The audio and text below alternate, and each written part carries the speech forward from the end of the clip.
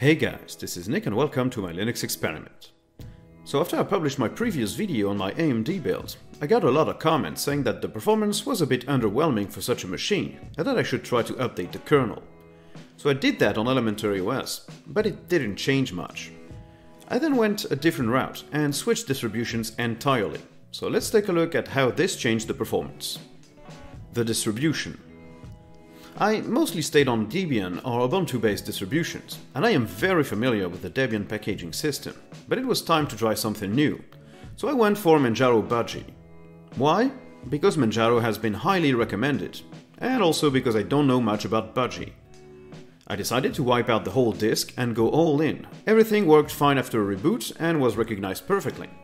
I'll talk about Budgie and Manjaro in another video, but I like the simple experience, and since Steam was pre-installed, I started downloading and playing the games to see what performance gain I could expect. Gaming Vermintide ran perfectly through DXVK, with no additional configuration needed, and reached an almost perfectly stable 60 FPS at max settings. I couldn't even run Vermintide with DXVK before on Elementary OS, I had to start it with Wine D3D11 enabled, and that only gave me performance in the low 20 FPS with medium settings enabled, so that was terrible. This shows all the difference a system can make, since both distros use the same version of Mesa, AMD GPU and Steam, as well as Proton, the only difference was the kernel version. I was pretty happy about this, as you can imagine, so I tried Deathwing as well. Space Hulk Deathwing just didn't run correctly on Elementary OS in full screen mode. You had to run it in windowed mode with all the problems that could entail and the reduced size of the screen. On Manjaro, it ran perfectly in full screen mode by default, at max settings and 60 FPS most of the time, apart from some occasional stutters when loading a new asset or shader. As I understand it, that's a drawback of DXVK, and it does not occur after you've cached said object or shader. Then I moved to native games. Dawn of War 3, at a mix of max and high settings, got around 45 FPS with Vulkan enabled, and without Vulkan in the same settings, I got about 56 FPS. This is a big improvement over the same game at the same settings on Elementary OS, which could reach about 40 to 45 FPS without Vulkan at the same settings. Total War Warhammer 2, at the same settings as on Elementary OS, got a little more stable 60 FPS in the map and during battles, which is good, but not a major performance improvement.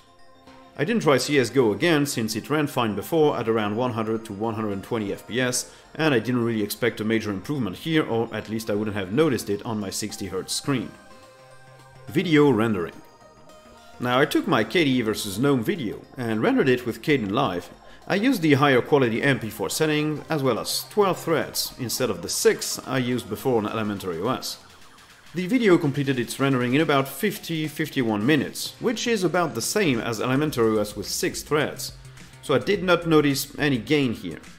As a lot of comments pointed out, Kdenlive isn't hardware accelerated, so it only uses the CPU to render videos, and there's not much you can change to that, even with a little bit better drivers or a little more recent kernel. So to conclude this video, I was skeptical of a distro change in terms of performance, but I was wrong.